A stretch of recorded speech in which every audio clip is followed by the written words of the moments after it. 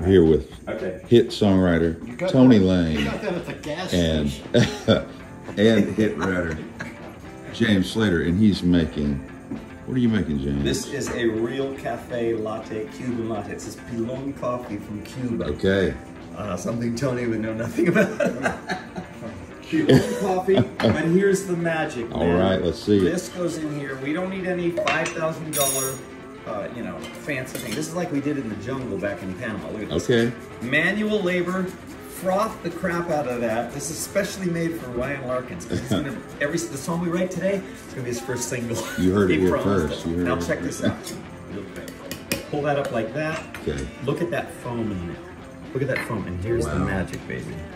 Back that. Okay. A little bit of this action, and then get that foam on top of that. Beautiful shot of goodness for Ryan Larkin, straight from Central America.